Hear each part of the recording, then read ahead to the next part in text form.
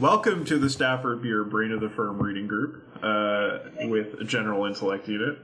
Uh, this time uh, we are continuing again our read through the final chapter, uh, and we are picking off uh, picking up at uh, page three seventy four three seventy five. So we just finished reading the first point here uh, in this series of five comments that derive from a perception of the total model, working in its synchronous cyclic mode.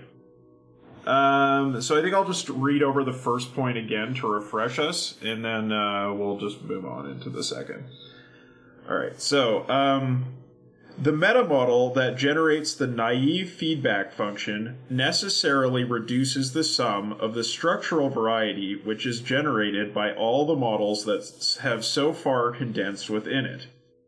This is simply because the space and time available to the media to communicate the composite meta model cannot be adequate to report in equivalent detail all the alphabets of interna- internationally fraught trouble spots at any one time. There must on average be a variety attenuation at this point. In particular instances, the mass media will make a special effort to preserve the variety inherent in the collection of submodels, if only to combat the contention that they dangerously oversimplify the issues. But they face a dilemma of their own the more the variety of one world situation is deployed to the various publics, the less time and space is available for others. Thus, in the effort to avert the char- charge of oversimplification of some issues, the expectation has to be that they will not only have to oversimplify, but actually to polarize others. And this expectation is certainly fulfilled on many occasions when, for instance, the public finds that its only choice is to decide whether a particular and newly emerged national leader with a revolutionary government in some distant country is good or bad, in scare quotes. And of course, that its choice has been made for it by the slant of a two minute presentation. When the naive feedback function impinges on the crisis itself, it changes all the information flowing through the system, but more especially its variety. This will change the character of all the transducers, attenuators, and amplifiers, which must perform their functions in terms of an ever diminishing power of discrimination. The system will soon be galloping around its loops, its own loops, at an ever increasing pace, driven on and gaining my momentum by infuriated responses to its very naivete.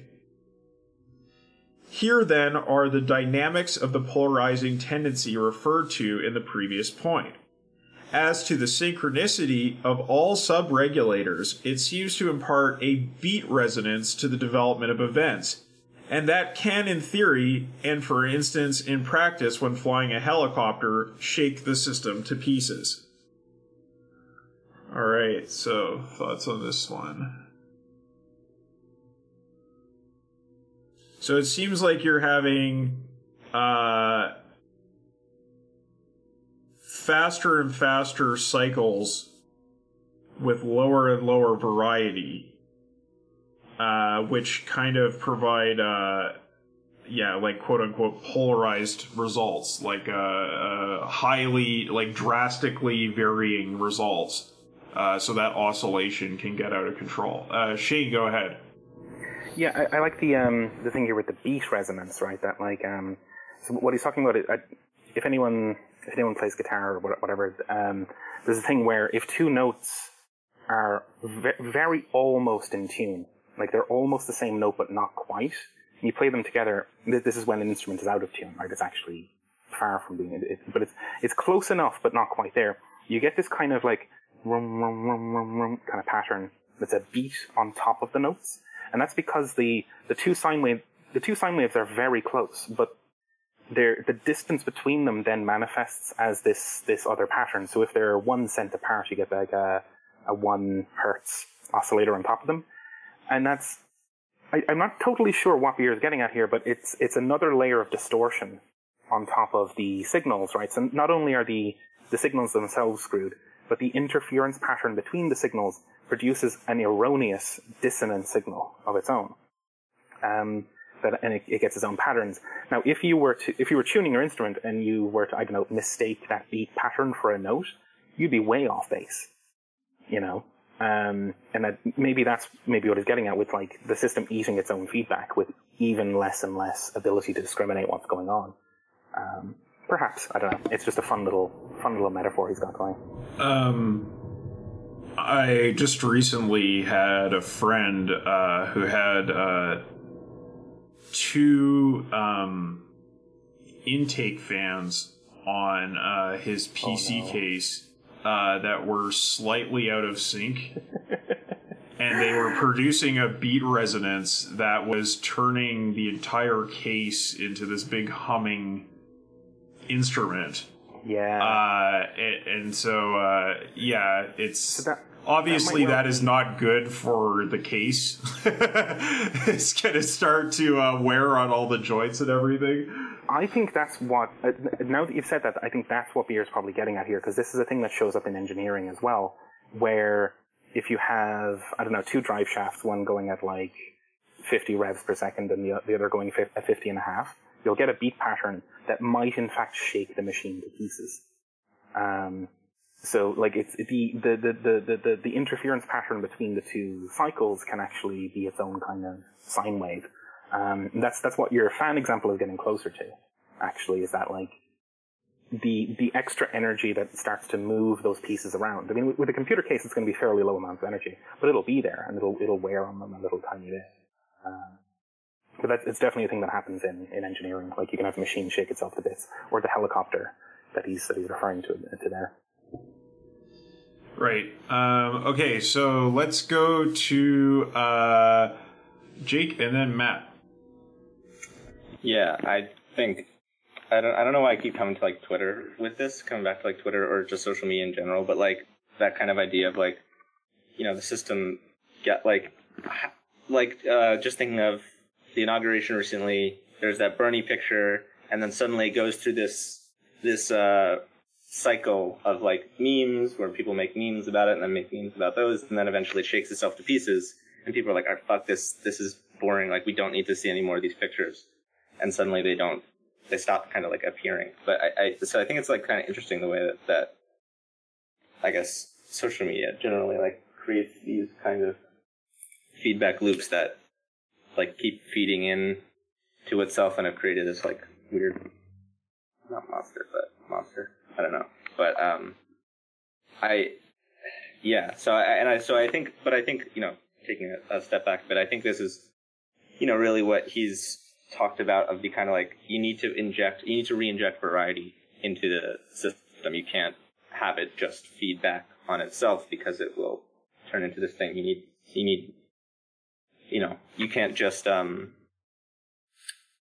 let it because it'll cannibalize itself right until unless you are introducing something else or something that can absorb the variety of it, um, which is what the kind of like, I think what he says, like the system three is for system three, four, five, I guess, of like, you know, if you're talking about like within the kind of system, um, is what it's supposed to do. I mean, I know system two is the anti-oscillatory, but I mean, just like in terms of, uh, re, rethinking the plan, re, like reorienting the system or organization to not to like deal with the next cycle of the crisis you know like oh this this thing happens and rather than just like you know rather than continue to operate under the same conditions you got to re replan because new information has come in and if you don't that's where it just shakes itself apart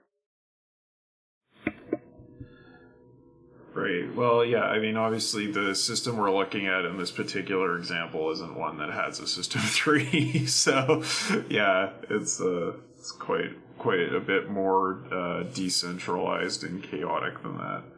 Uh, uh, Matt, go ahead. Yeah, I, I was also uh, immediately reminded of uh, um, you know how you can kind of watch it you know break apart in real time basically on social media like especially twitter. And you know it, it, it's such an accelerator for, for, for this that it, it's it's kind of morbidly fascinating to watch it because like uh, um, you know you'll you'll see like little subcultures fragmenting and you know they'll they'll be saying things where like not only do you have to know about that subculture you have to know about like the subcultures that it's in hostile contact with and you have to know exactly what bits of information jump ship so, like, you know, you, will see people, you know, uh, who, you know, maybe even kind of know, know their joke lexicon at this point. But, like, you know, they'll say stuff that makes no sense at face value. And then you realize there's there's like five layers of like, uh, uh, you know, they're making fun of a catchphrase that the other side started deploying, that you know like they started uh, uh you know uh, uh t- turning into an in joke themselves. Like you know you, will you'll you'll see leftists on twitter you know like you know uh make, make fun of like something that was apparently like some like you know like a, a op-ed headline you know from some crazy shit lib and then like like like it makes no sense unless you go five layers deep. And i, I think that's kind of what it, it breaking apart actually looks like. Because you know while you know you have these little you have these little rabbit holes of uh, um, you know of mean uh, of, of meaning. But like it's totally fragmented. Like i mean you know so, someone who's not totally plugged into that you know it means nothing. Yeah definitely. Uh, for sure for sure. Um, so yeah i mean i think that's the thing to consider maybe down the line is like how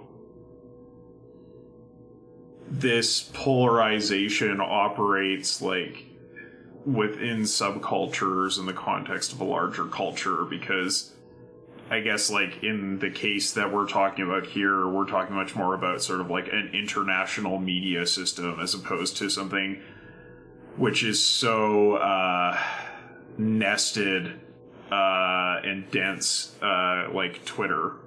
Um, okay, so let's move on. Um, The cybernetic regulatory system, as described, runs primarily on the analysis of options as recognized within and elucidated by regulatory models that do not display requisite variety. Insofar as this process is fed by inspired leakages from the supposed seats of power, this apparently journalistic activity could be regarded as a form of decision or action on the part of a government itself. It is noteworthy that what would strictly be a political decision, they shall not pass, or a political action, send a gunboat, is frequently avoided by its simulation through the low variety models of these regulatory loops. In itself, this has a cathartic effect. But the situation that is depicted in these quasi imaginary terms stands to break down because the regulator does not contain an adequate model of that which it seeks to regulate. This circumstance would appear to increase the likelihood of both covert action, which, so long as it remains covert, is not susceptible to this system of naive filtration, and of surprise action, namely that action which the system did not envisage and cannot therefore handle. Covert action by the United States throughout the Chilean story which has been freely admitted by now and documented, is an example of the former. The Entebbe raid by Israel on Uganda is an outstanding example of the latter. So, uh, we have first the point that, um, of course, leaks, quote unquote, are often, uh, you know, sort of deliberate uh, on the part of governments uh, and, or other political actors. Um, and then we have the idea that um, in order to not uh, suffer the potential consequences of taking political action, uh, just sort of floating the idea of taking the action in the media uh, is is used as a kind of simulatory process. Uh, but the problem there is that uh, the simulation machine is more complex than the actor that is coding for it. So, like, it tends to get out of hand. Uh, and therefore, we have this, like, alternative mode of action, uh, which is to either keep things out of the media entirely because of that possible runaway effect, or to uh, sidestep the uh, simulation entirely and sort of like the collective model of reality that it represents by just taking surprise action out of the blue. Um, yeah. So let's go to Shane. So the, the, the, the term simulation there makes me think System 4, right? And it makes me wonder if what Beer's may be getting at is that the media in this case is a kind of um, outboard brain that the government is using to feel out possible futures for itself.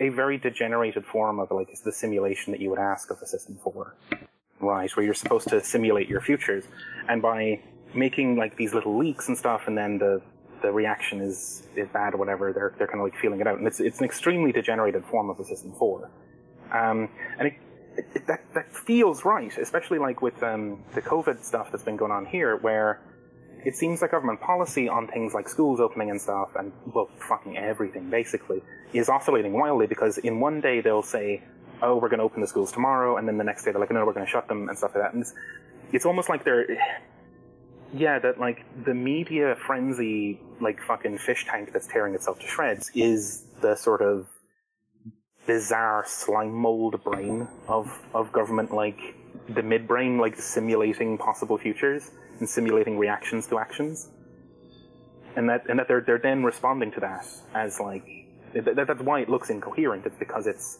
what a brain does of like doing these multiple overlapping simulations um, that then converge on on actual action.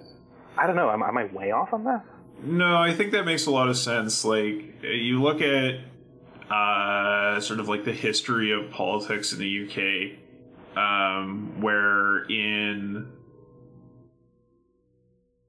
the 80s, Labor uh, decides that the reason they're losing is because they aren't able to control a media narrative. Mm-hmm. Um, right? And Yeah. then under Blair, you have this incredibly media control focused um, style of governance, which sort of like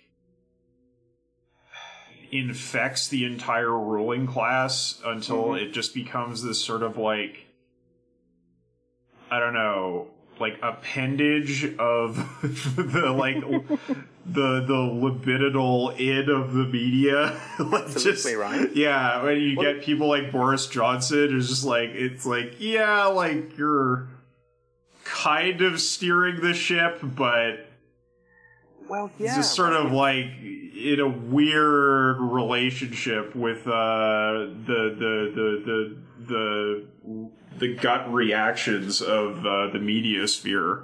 Yeah. So like, if if System Four is like something like an imagination, right? It's like either conscious or unconscious, right? There's there's a, a sense in which your brain simulate like if you it's like oh I should run and get that boss. Your brain will simulate what might happen if you try to run for the boss now, and then you might then come up with overlapping kind of outcomes like. Well, I could run and not catch it, in which case it was a waste of time, or there's ice on the ground, so I probably shouldn't run, or maybe it is close enough that I could catch it, and so on or maybe I still don't want to do that because I look, look like a fool, and, and so on. So there's those kind of overlapping predictions and imaginings of what a future could be. Um, and that's kind of what the media is, is that that's the role of the like interface between governance and media in this kind of case, right? Like that the, the, the government will, will test run a possible action by putting it out to the media, seeing what blows up and what doesn't. Um, and then roll with it, or like that, like they get a signal back from the imagination that says, no, no, no, no, no, that's going to be, that's going to do such and such thing, and so I don't know. Like, and again, in what we have is an extremely degenerated form of a system four, but it seems to actually be there, uh, and it's maybe one of its problems is it's running synchronously in real time because the the kind of system four imagination stuff that Beer wants us to do is parallel and uh, non-real time. It's it's it's you know you, you run multiple parallel simulations before the fact. Now the problem here is that the System 4 elements are embedded in the material loop itself and are just synchronous with the loop. Uh, so you don't really get an imagination, but it's something that stands in the place. It, it stands in the place of what the System 4 would probably be. I don't know, but there's, there's something eerie about this. Well, and Maybe we this should, get, is we should get like into Baudrillard, you know?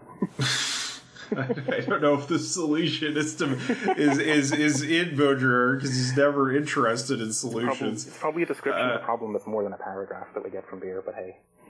Yeah, well, I mean, I think like the thing is that um that gets us back into the strategies that beer brings up here, right? In terms of like either doing it covertly or by surprise.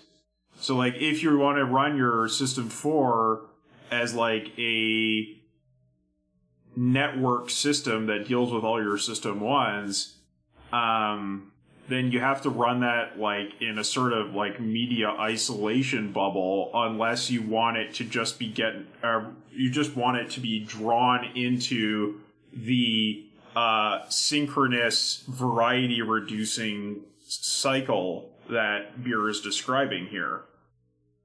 Um so that's a real problem right? Uh, maintaining that separation. Uh, okay so let's go to jeremy So there's a group a ways back called the Church of the Subgenius, and uh, great parody religion stuff. But they actually did some politics too.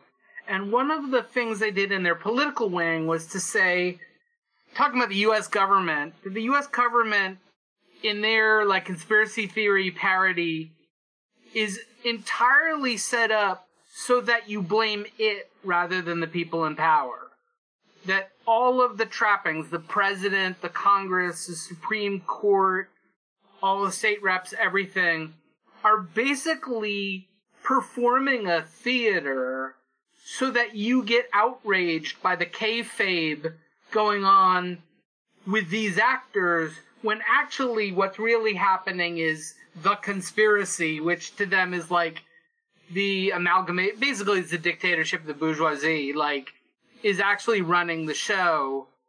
And so I see some of this in, in beers, in this idea that like, there's, you know, the media is constantly propping up who you should give a shit about. And especially like, I don't even consume a lot of celebrity media because it just fills me with existential horror. I don't know who any of these people are and I don't care. But even in the politics part, you know, people, you know, the media wants you to get really excited about Mayor Pete, you know, and I don't give a shit about Mayor Pete. I, don't care. He, he's not relevant to my life in any way. You know, maybe if I had to get a grant from the transportation department, he would become relevant. But, you know, there's a lot of this sort of kayfabe where the media, you know, it's it's the media wants you to play chess with its pieces even if the actual chess game is going on on a different board that you can't that's not immediately in front of you Yeah, yeah. Uh, Matt, go ahead. Oh, definitely. I mean, like uh, I, I, I feel like uh, um, you know, like see, like media trial balloons as like you know, like a feedback loop with like a lot of uh, um, uh, um, decision making power in terms of like public opinion. Like that's almost giving it too much credit. Like you know, like there, like that's certainly an element to it, but I think that also even you know uh, that that maybe even has more to do with like how like a, a, a leaked possibility will affect um the stock market, which you know, I mean, like like like that's probably more like like the feedback loop there than like a public opinion poll about you know a leaked plan. But yeah, I mean, because it's also a distraction. You know, I mean, it's also that okay, yeah, yeah, th- th- this th- yeah, th- th- these are the things that that, that that that are going on. You know, I mean, this is what should be on your radar, and for the most part, it'll be stuff that you know kind of like deeply doesn't matter. Sure, yeah, yeah, yeah. Um, yeah, uh, definitely, uh, as Rudy said in the chat here, there's a lot of COVID restrictions where they like floated in the media, see the reaction, and then decide if they'll actually go ahead with it or do something different. Um, yeah. Uh, okay, well, let's continue down this road. Um, so, when, because of the entropic drift that steadily erodes variety in this crisis regulator, polarization is eventually induced, because no more than two states of the system can now be discriminated, it may be recognized by agonizing displays of insincerity. These arise because the induced dichotomy is spurious. The rights of neither pole can be discussed rationally, and therefore become the subject of quote unquote moral stance and outpourings of sanctimonious quote unquote ethical dicta. This is not to argue that there can be no such thing as a genuine ethical position. There can. But if ethical stands, which appear to be based on value judgments, are in fact generated merely by differences in the premises of the models that have been inadequately constructed and meretriculously purveyed, then this would explain their apparent insincerity. In that politicians palpably adopt inconsistent ethical standards from one world crisis to the next. This has recently become a scandal of such proportions that, I suggest, no morality will sustain its credibility for much longer. Well, wasn't that prophetic? Uh, what then will become of the motivation to warfare? It would be naive indeed to answer peace. Um, okay. Uh, finally, there is one very simple consequence, aside from war itself, of the systematic loss of systemic variety as the process uh, depicted in Figure 50 unfolds. The crisis generates possibilities within the world situation of such complexity that they cannot even be expressed within the model structures made available. Thus, all possible solutions to the problem are rendered unacceptable to at least one faction. This is, I think, outstandingly true of the apparently endless war of attrition in Northern Ireland. And it has to be conceded that the same point could be made about Allende's problem in unifying his own coalition. Great comments on these two points. Uh, Shane, go ahead. An example that just popped into my head was um, I'm not sure which Adam Curtis documentary this is in, but it's where um, the media are covering, like the BBC are covering some conflict in, in Africa. And they have this general sort of framework for reporting where there's the um, there's the evil aggressors and then there's the good guys or whatever in, in, any of these kind of conflicts. They have a very straightforward kind of model to present on the media. And then they get into this situation where on camera they're, you know, doing their, their broadcast bit and they're, they're at a refugee camp. And behind them, like, the refugees are hacking each other to bits, which completely scrambles the narrative. And now they don't know how to put, how to make it make sense on the news. Because the, these are supposed to be the good guys, you know? And this is, and then the, you know, because of course the, the actual conflict is multifaceted and various, but the coverage, the, the framework for coverage couldn't possibly be.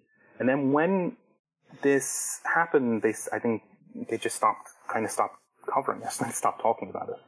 So it's just that they, they won't even, like it can't even be processed in this like synthetic imaginary that we, we're all kind of trapped in. Um, things that, things that can't, like the, the actual complexity of the world can't be processed in those terms, and so it gets dropped. Um, I mean, the same thing happens to all kinds of institutions that are in free fall. And it's just like, oh, here's an inconvenient fact. Well, what fact? you know? Uh, I, I didn't see anything. Yeah, I mean, I guess listening to like Radio War Nerd cover all these like conflicts that don't get covered very much in the world, um, you get the sense that there's some kind of like procedure for deciding how to cover these wars, which is uh-huh. like, first of all, are they our ally? Like, are our allies involved? Uh, if yes, can we somehow provide uh, portray them in a positive light? Uh, if no, uh, let's not report on the war. Uh, if yes, then we'll report on the war and make it about the good side versus the bad side. And then there's like some edge cases, right, where it's like more about like, oh, we'll just focus on the bad of the other side or whatever. But it, it feels like there you could like work out like a decision tree for how the media decides to cover foreign wars, uh, based on just like yeah, very basic principles of uh, self interest and uh, availability of of uh, props for their drama that they're putting on. Um, all right, uh, let's go to Matt and then Jake. Yeah, and, and I mean, like uh, uh, the the, the the details here, I I, I think are uh, uh, useful. But you know, like uh, uh, you know, polarization in general is one of those things that, that I think is um, you know something that people talk about like a little bit more than is warranted by its importance. Because like in a lot of like the really fundamental issues, like most people are actually very consistent. You know, I mean, st- stuff like uh, um, you know, um, uh, um, uh, uh, uh, like like um, you know, um. Med- Medicare and Medicaid being able to negotiate drug prices, which they can't right now, and you know, like a, a lot of like distribution, uh, um, you know, economic distribution stuff. Th- this is like super majority, you know, more than two thirds of the country supports it. But you know, like uh, we act like it's 50-50 because really, it's you know, it's sectors of capital that you know have like slightly different interests and where you know for, for, some of them eh, it actually is beneficial for, for, for them to have like some more social services and uh, you know because the, you know uh, uh, the, the the bourgeoisie have a disproportionate say and you know a lot of these things really are just factional fights between them you know things look a little bit more um, uh, um, fractured than they really are. When, when reality, you know, like it's really just the fact that most people have no meaningful, you know, access to the control switch at all, and so what they want is irrelevant. You know, the polarization actually isn't like the, the, deciding factor there. It's mostly just the fact that they don't have a control, they don't, they don't have a working um, a, a steering wheel in the first place. Yeah, uh, that's that's a good point. Um, definitely, I think the polarization uh, where you have people just sort of declaring very loudly for causes that they don't believe in um, is a feature of uh, certainly American politics, but um, it's important to also consider, as you said, like, well, who gets to add to that conversation or set the terms of what the polarity is?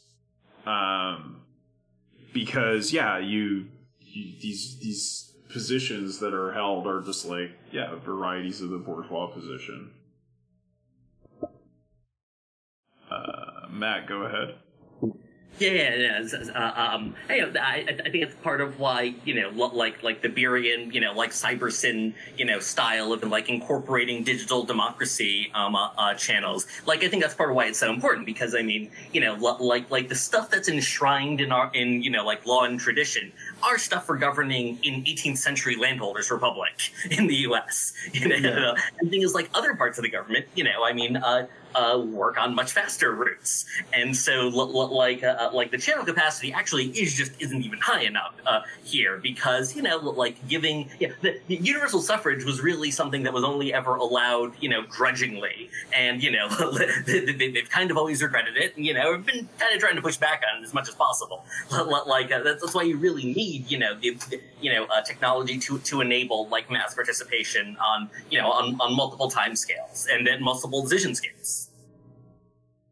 Yeah. Uh, all right. Uh, let's go to Jeremy and then to Jake. Uh, so two points. One about the fourth bullet and one about the fifth. The um, on the fourth bullet point, like there's an American congressman, uh, Matt Gaetz, who basically is a rich, drunken frat boy turned congressman. He's a conservative Republican. His dad probably owned the car dealership in his town and got him what he wanted. He's had like six DUIs and now stands up and beats his breast about morality. Um, but there was he's in a committee and the committee's ground to a standstill because he wants to demand that every session open with them all standing and saying the pledge of allegiance. And it has nothing to do with the committee he's involved in. And he's ground everything to a halt demanding that everyone say the pledge of allegiance and having a vote about it. And everyone else is like look we have business to attend to shut the fuck up. And but American Republicans have a tendency to do this, where they'll just take an issue and be, and turn it into a binary. You know, you have to say the Pledge of Allegiance before you can have a meeting because that's the patriotic thing to do. And if you don't do it, you're showing yourself off as unpatriotic when that's fucking stupid and has nothing to do with anything. You know, it's not even patriotism; it's just ridiculous performative bullshit. But the Republicans love that kind of thing, where they're like we're going to make a wedge issue out of absolutely nothing because we know our people will amplify it on talk radio and be incredibly outraged over it, even though it's completely un- inconsequential. It's a cheap, easy victory. And the other is, I remember, um, I guess I was in undergraduate when Hastings Banda died, who was a dictator of Malawi. And longest ru- longest serving Afri- post-colonial African leader. And I was listening to the BBC at the time, which you had to get on shortwave radio. And they did a whole hour on the legacy of Banda and his role in the Cold War and anti-colonial and anti-communist struggles and all this stuff. And just out of curiosity, I looked in American media and nobody even reported that it happened. And I was wondering about that, and I was realizing it was my first realization that Africa, especially sub-Saharan Africa, just is not mentioned at all in the U.S. media, and it's because they're terrified that their viewers, their listeners, don't want to look at a map and look at a country on a map that they don't already know.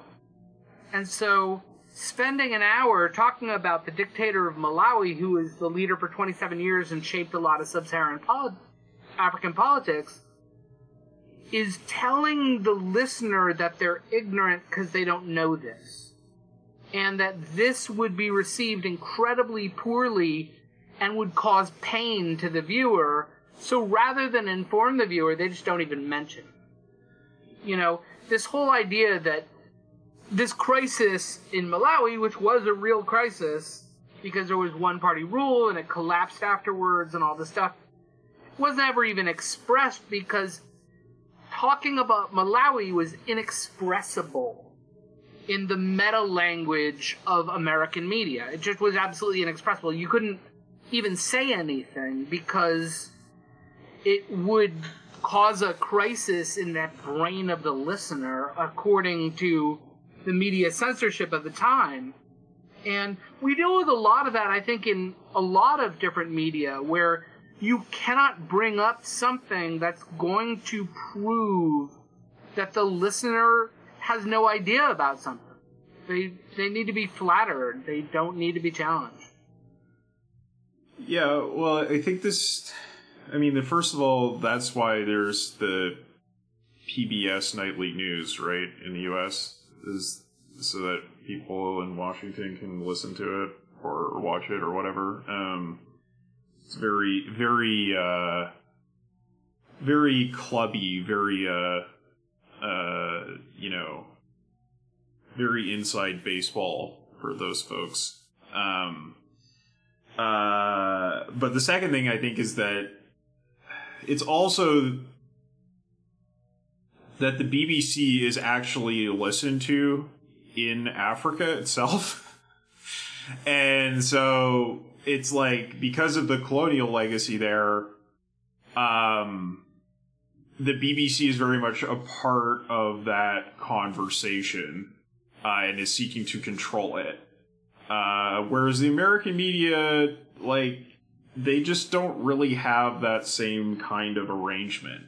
Um, yeah. So, uh, it's, yeah, it's an interesting combination of, like, the colonial legacy making it a matter of concern for the people of the, like, imperial country or post imperial country, but then also like engaging it in the post colonies themselves. Uh, so it kind of goes both ways. Uh, anyway, um, let's go to Jake. Yeah, I think that very interesting. I think I don't know. It's you know I it's interesting to think about like the the sort of we have been in crisis for so long in this like in the US and the world you know in the western world generally that like the sort of polarization has reached such a level where for some segment of the population that they've kind of captured in especially like traditional media circles like with like right wing talk radio and Fox News and stuff to where they have all of these like particular shibboleths and and like code not not code words but like basically code words that they can use to sort of like re-engage their audience. And you know like even tr- even newer right-wing media like uh, youtube uh, people uh, use the same kind of thing you know where it's like they've got the sort of dog whistles and they've got these like uh, ideas and like common sense things that they can kind of apply in you know not in context if you're or like it's somewhat out of context if you're like knowledgeable about the subject but if you only know the kind of like surface level stuff that you would know from like listening to these things or watching these things then then it like reinforces it's it's a positive feedback for their like ideology. Um and it's become so so I don't, I don't I, I don't want to say like broadly disconnected from the world as as it exists, but but but it is that you know like just the, not trying to be like super uncharitable, but at the same time they're very uncharitable, so kind of got to give it to them or or not give it to them. But um, so it's very interesting, and and yeah, especially like this bit about the like the politicians just adopting ethical standards that are inconsistent, and people have become so jaded and cynical to it. It's like this is why we're at this point where 400,000 people have died in the US of COVID and no one gives a shit because it's become so abstracted and so like, well, what is, you know, ethics, like what is it? And then to the, to the people that, that still have some semblance or, or, uh, provide lip service to it. They're just, they, they just say, oh, well, it's just not even real. It's just not happening. It just isn't, you know, they're, they're so outside of their framework. They're become so polarized against the potential that like, the government and not the government, but like society, you know, at writ large could could fail the uh, to to to protect people's lives in such a massive extent that it just they, they just don't think it, it's real. And then I would also I would also say that like the right has very effectively polarized people against the concept of government to the fact to the to the effect that they're able to blame so much of what happens just on government when of course in reality it's it's always been a, a, a merging of government and business in a, in a sense you know, not in the like fascist sense traditionally, you know, but like in the technical sense of like these government and corporation, like government and corporate people are often the same people and they communicate very frequently and they plan things out in a way. Um, but then of course they're just using that to like say like, well, any government is bad and government itself can never solve the problem because it's inextricably linked to this. Um, and then yeah, I think that last bit, the last point of the like, that as the crisis unfolds, it's just like impossible to actually express it within the channel. So it's just so that some people get kind of like pushed out of it, out of those channels. And I would, I would say, I don't know. I don't know if this is like part of why there's been so much like left splitting. You know, if it if it's reduced, if it can be reduced to that, or if it's I mean, obviously it can't be reduced to that, but like, you know, if that's that sort of main component of that kind of thing, or if it's something else, but, but I would say it's definitely like a thing to grapple with and consider like, you know, what are the ways in which, again, like systemic variety can be re-injected into the system, um, in a way that doesn't, that prevents people from kind of being shut out because I guess I guess uh, you know just sort of talking over and thinking about it more like when people like feel their voices aren't being heard in like an organization, you know that their input isn't isn't useful or considered useful or uh, there's no place for it, you know, then that's when that kind of thing can happen, and I guess you could consider that a systemic loss of variety in a sense. So, so maybe the the solution is just to like consistently allow people to sort of inject their their variety through their own point of view into like internal and external facing like aspects of the organization.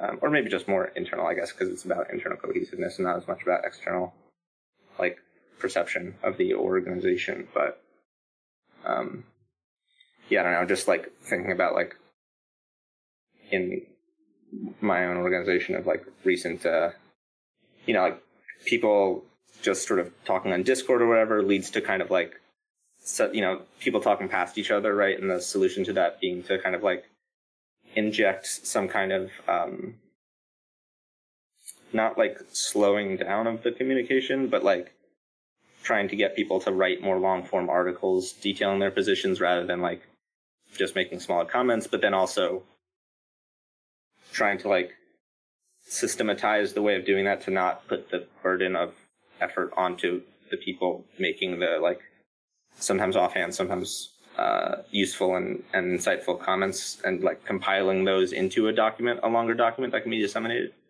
Um, so as to like sum up those ideas but not you know not in a way that again it's just like collecting that kind of like variety that's been injected maybe more care like somewhat carelessly but still like representative of, of the variety that exists within the system uh, just into a way that's like more processable right by people who aren't able to keep up with like the fast paced variety that or not variety but the fast pacedness of like online discussion forums kind of thing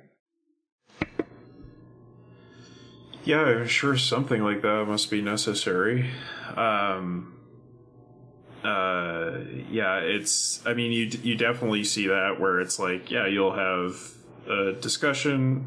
Um, it'll get polarized. Uh, people will become more and more partisan, and then there's like a bunch of people who are just like, I don't see my opinion reflected in this at all, and I'm not even going to engage. Um, yeah. Uh, okay. Well, uh, let's move on just a little bit more, and then we'll wrap things up here. Um, these comments complete the present account of the cybernetics of crisis. The whole exposition of this model has been put forward under four headings, which were introduced many pages ago as four major cybernetic requirements of homeostatic stability. To recapitulate 1. The system is obedient to Ashby's law of requisite variety. 2. Information channels maintain variety entrusted to them. 3. Transducers neither attenuate nor amplify variety. And 4. Uh, the time cycle is synch- synchronous for all subsystems. Yeah, the time cycle is synchronous for all subsystems. The extent to which a self organizing system recognizes these requirements, seeks to obey them, flouts them by accident or design, and finally achieves its comeuppance at their instigation will indeed determine that system's viability. The outlook by these tokens for crisis regulation must be adjudged bleak. These four requirements were drawn respectively from the four principles of organization enunciated in this book's companion volume, The Heart of the, Enter- uh, the Heart of Enterprise. They are exemplifications of those general principles. The model offered here, however, is merely a start in elaborating the cybernetics of crisis. In working on it, a haunting question has been in the forefront of my vision. It is an important question and one attending all utterances that could be labeled managerial cybernetics. If it is naive to reduce the variety of real life crises by employing attenuators of the kind described, which, for example, include the use of pungent variety destroyers such as sarcasm and dramatic irony, then is it not also naive and indeed equivalently dangerous to propose relatively simple models of crisis regulation? Using on recent occasions somewhat similar expository tricks. I wish precisely to restate two fundamental tenets of any science, of which cybernetics is an example. That all natural processes exhibit formal invariances, and that the corpus of scientific knowledge is composed of statements which not only state but suitably constrain such invariant relations within the compass of their applicability. In this book, then in seeking to disclose a model of any viable system, and in this section of the book, then in seeking to disclose a model of societary crisis, vast amounts of variety have been discarded. This has sometimes been done explicitly, as for example by dismissing it in sarcasm or dramatic irony. But usually it has been done implicitly, by privately selecting what should be included in and what should be excluded from the developing models. If mistakes have been made, the models can be tested to destruction. They seem to me to be useful, but they are cheerfully submitted to the Popperian criteria of disproof. This is not true of the variety reduction engaged in by crisis manipulators themselves. They are not seeking invariances. If I went on to say that they are seeking, it could be called an expository trick. But they themselves neither doubt nor deny the pragmatic values to which they answer, and on behalf of which variety is justifiably axed to the bone. Perhaps this statement will dismiss Banquo's ghost, the specter of less than requisite variety from the cybernetic feast. I hope so. Uh, but I shall t- end this section on the cybernetics of crisis with a reference to another specter and another feast. Soon after the beginning of the work in Chile in 1971, and I think that the date was in January 1972, the Chilean government formally applied to the British government for financial aid under an existing scheme in or in support of all that we were intending to do. This was not my application, and I even refused to endorse it. I had traveled 8,000 miles to work independently of my familiar friends in England, the can't be doners of those days. This I explained in Santiago, but I did not try actually to veto this alarming proposal. Considerable hard currency sums were due to be spent in England, after all, in projects, salaries, and equipment. The Chilean request must have been duly processed because I eventually found myself having found myself having lunch in London with an officer of the Department of Overseas Aid. He wanted to know how things were going, and I told him how they had gone. The work had been on course. Unfortunately, exactly 10 days earlier, there had been an armed insurrection. President Allende, thousands of his friends, and some of mine had been killed. Every life and every freedom was at risk. the long cherished tradition of democracy and constitutional government in Chile had been brought to an abrupt halt. The project, after two dramatic years, was over. The gentleman asked, actually, sorry, the gentleman actually asked why. We have been discussing naivety. We could map this incident onto the model. Who was naive? Was it the Chilean government who asked for support two years too soon? Was it the British government who could not understand what the support was for until two, 10 days too late? Was it the government of the United States who funded the coup d'etat? Or was it I who paid for the lunch? All right, uh, let's go to Matt. Yeah, um, um, a lot of like you know um, um, um, um, emotive stuff in there. But actually, the, the thing that jumped out at me the most was um, him specifying um, synchronous governance of all the subsystems. Because like I, I think that's one area where there's actually been some like um, uh, technical advances that you know might actually make that kind of either you know easier or just not even the right question anymore. So you know like there's been a lot of advance in like distributed systems stuff like I think this was written in like a, or again, the second edition was in like the early '80s.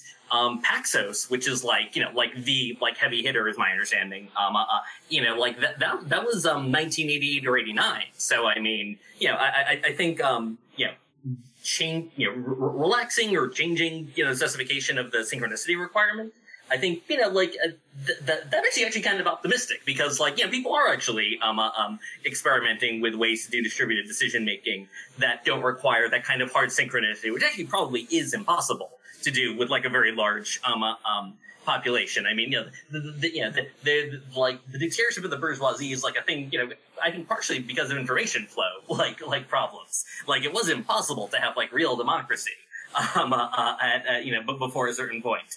Um, but you know, like, um, you know, between like um, existing like technical infrastructure plus algorithmic understandings, you know, I mean, you know, we might actually like have like a way to do this.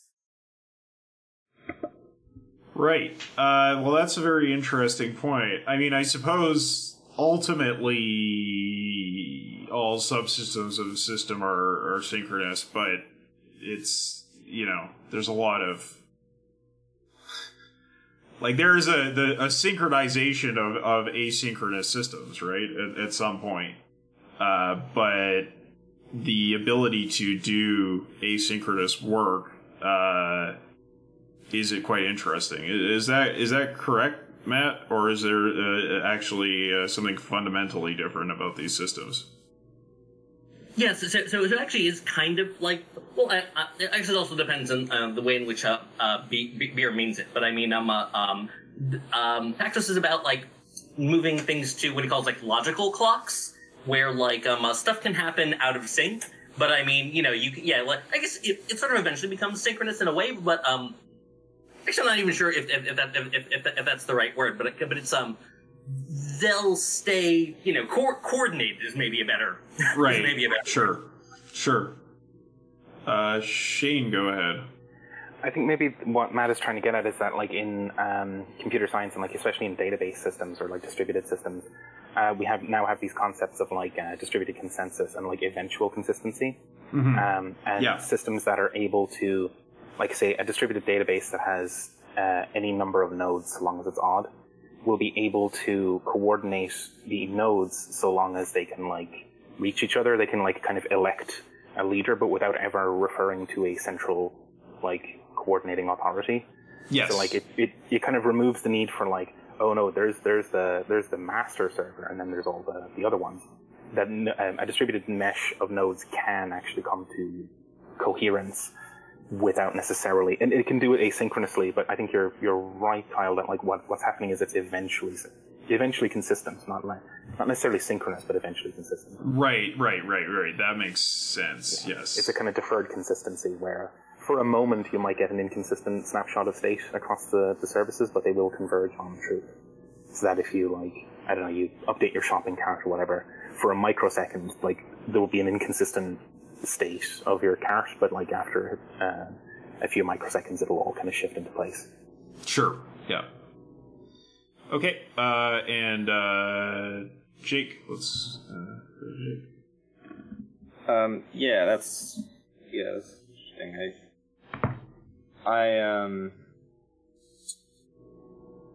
yeah, this is it's all very like, you know, kind of hands this little point with a very kind of poetic thing of like, well, you know, if things had turned out differently, maybe things would be different, you know, which is like, yeah, which is true.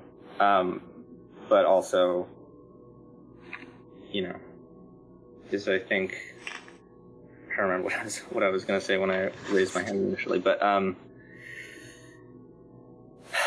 yeah, I the the the bit where you know he talks about these two fundamentals of science, um, you know, as I think an important like uh, he's kind of important where he's he's identifying that you know like people aren't usually actually trying to like find some kind of true like true way of, of doing this most effectively. Like they're not they may say they're trying to find like oh we want to do this in accordance with like democracy and and whatever especially when it comes from like capitalist institutions or whatever. We want to do this with people's you know protecting the all the corporate speak you know but then it like the outcomes are not that and it's because really what they want is just like they have a kind of idea of what of how things should be going and they chop off the things that don't comport compart with that like uh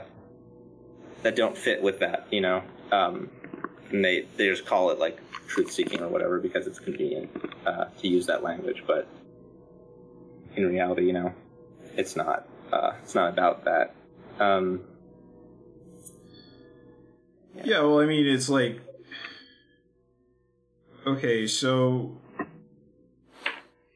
this is not true of the variety reduction engaged in by crisis manipulators themselves. They are not seeking invariances. Uh, so you know they they are bound to pragmatic values. Uh, Yeah, that they, it's- they're they're just seeking uh, they're just seeking uh, positional advantages.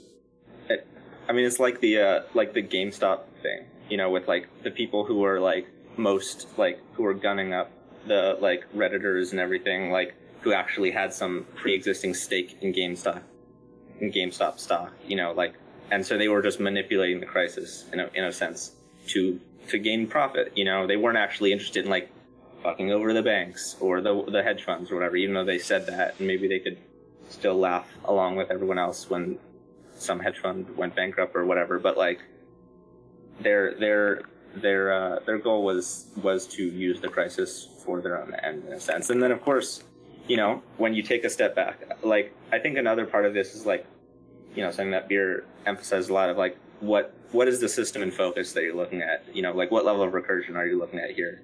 Because if you look at the sort of level of like again to the the GameStop thing, if you're looking at the level of like individual traders and like people participating in this thing, then you might think, well, these people are going to lose. They're losing by us doing this thing. But then you sort of take the, the look at the broader system that it's within, and you realize, yeah, of course they're going to just change the rules and like lie and cheat.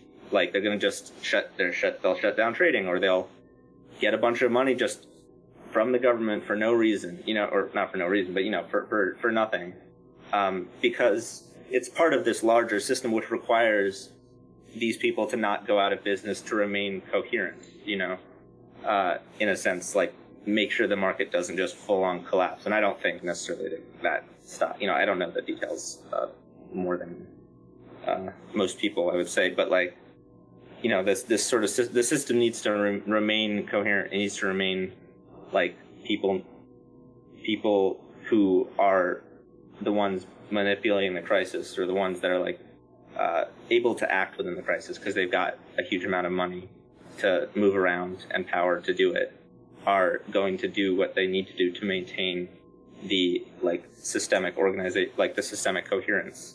And what and if that means cutting off some people at the bottom who have like $100 invested in stocks like so be it. You know they'll just cut them off and it's and it's fine because it doesn't really matter. And people get mad about it because they they have this notion that like well things work this way uh, that you know the market is free or some bullshit you know but it's like you know just a- any uh, understanding of the facts and certainly from this perspective like reveals how like hollow that is you know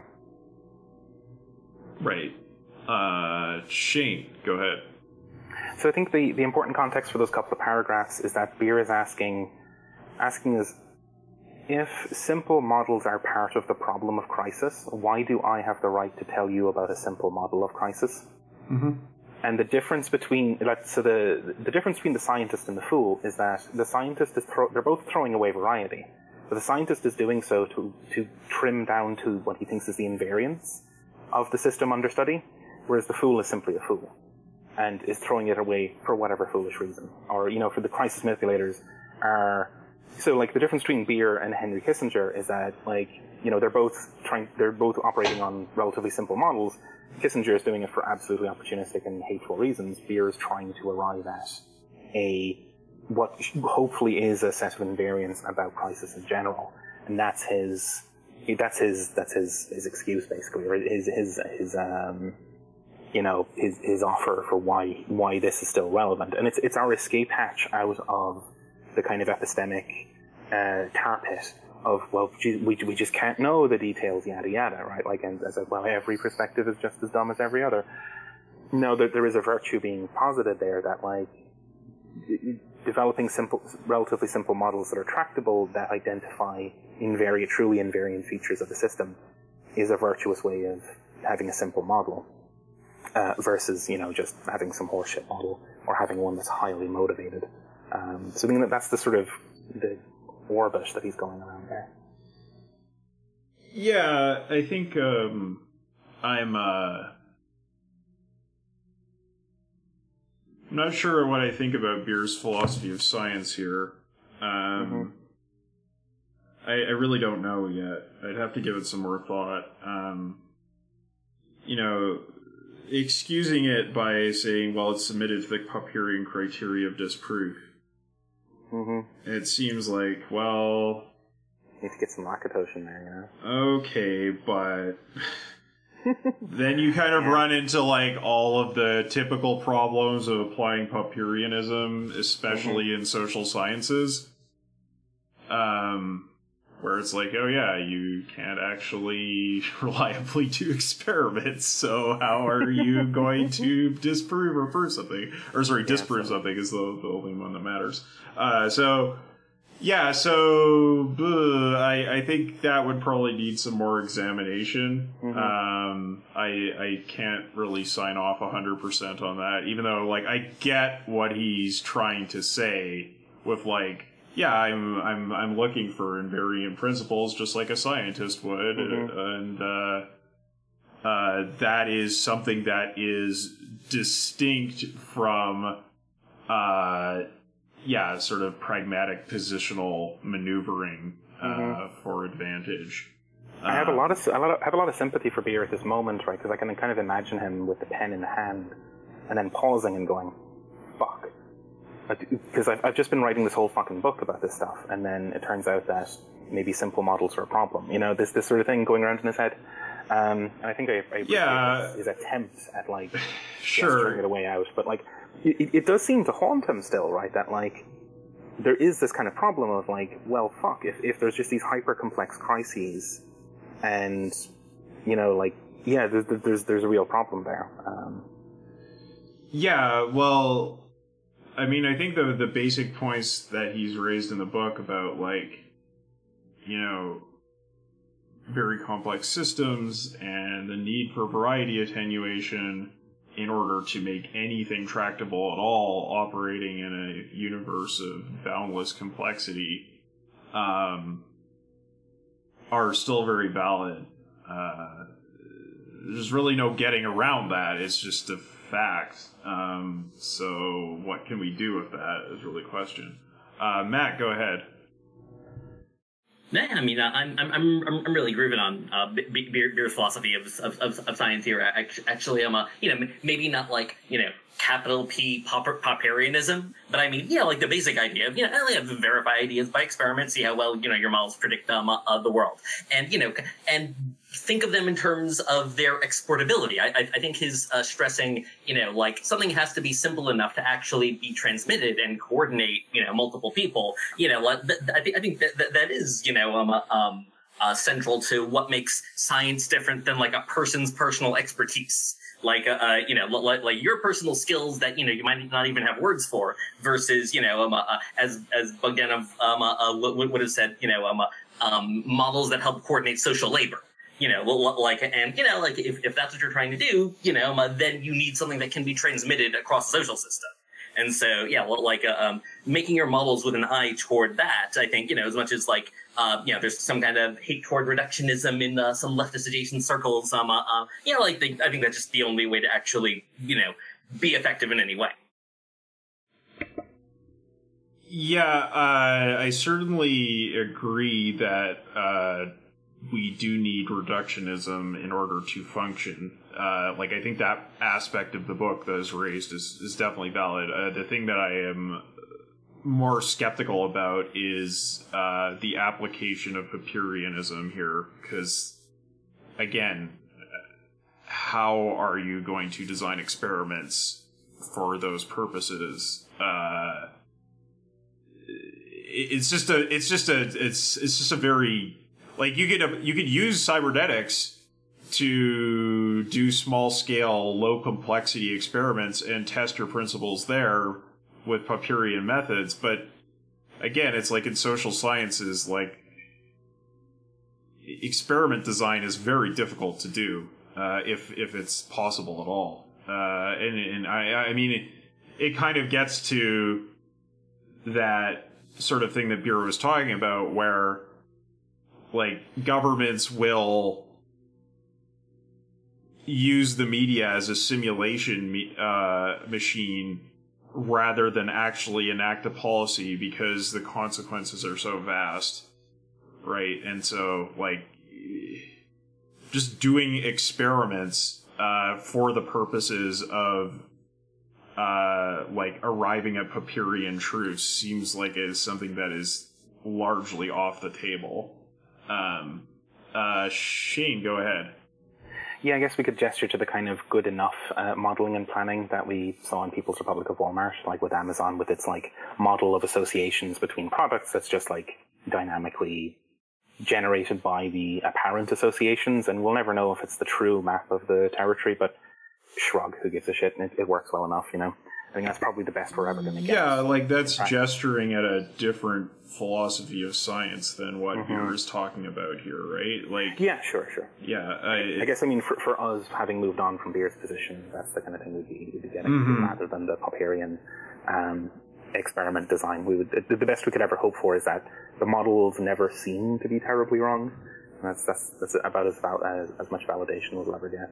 Um, also, the, the, the notion of like the transmissibility of, of models and theories also kind of like suggests a kind of tantalizing thing that maybe maybe time cube is a true theory, but it's just impossible to transmit the whole thing in, in, in full detail. And even if it was transmitted, it would be irrelevant anyway. Um, so maybe maybe total models of truth are are, uh, are actually baffling and, and impossible. Well, I mean, uh, the the book started by throwing those out the window, right? yeah, yeah, yeah. Total models of truth are absolutely not on the table. Uh, Totally. uh, uh, Matt, uh, go ahead.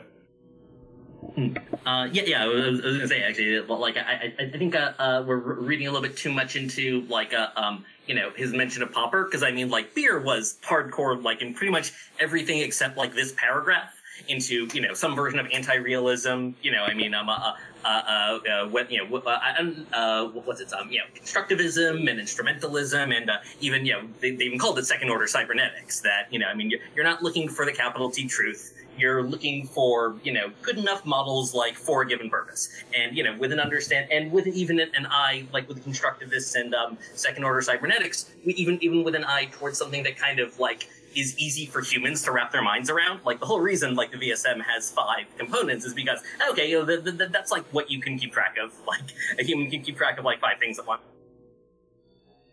Yeah, I absolutely agree with that. I'm just a bit disturbed that he he uh, sort of modded Bailey's to a very uh, almost like Platonist kind of uh, uh, uh, model here. it's like, well, you know, like if the the, the republic will be founded on invariant truths, uh, therefore it will be perfect because it's designed by philosophers, etc., etc., blah blah blah. Uh, that that that's that's. I don't think that's the general thrust of Beer's approach. Uh, Matt, go ahead. Oh, sorry, um, um, uh, for, for record, uh, I, I think also um, uh, uh, the way he's using invariant is maybe a little bit different than um, how, how you interpret it there. Li- Like, uh, I don't think he means like invariant is in like, yeah, well, like like these are you know the wor- the, the rules from the world of forms. I think it's just uh, regularities. You know, like there are invariants between two phenomena that you know, um, uh, um, yeah, that that uh, that you know that, that are consistent. Um, uh, uh, that you know, like uh, whether you're throwing a, a rock or whether you're throwing a glass, you know, force seems to equal mass times acceleration, like just that kind of thing. Not like yeah, the, the, these like eternal mathematical truths, just you know, things that are consistent between phenomena. Yeah, well, I think that is a valid hermeneutic move to read uh, this passage in the context of Beer's broader work. Um, I just uh, don't really agree with what this paragraph has to say uh, in itself. Um, so yeah, I, I, I, I, yeah, I agree with the, the broader broader thrust of what's Beer what Beer is saying. Um, and I definitely recognize the amount of uh, stress he was under in writing this section as well. So, uh, yeah, uh, when we are in dire situations, it is uh, tempting to try to find some kind of certainty to latch onto. Um, so, uh, well, I think that does it for this section for uh, this week. Uh, we're we're getting there, folks. Um, yeah. Making good progress. Not not too much further. Yeah. So uh, yeah, see you next week for more. Uh, thanks for the discussion as always, and uh, yeah, take care. Fantastic. Thanks, everyone. Bye bye.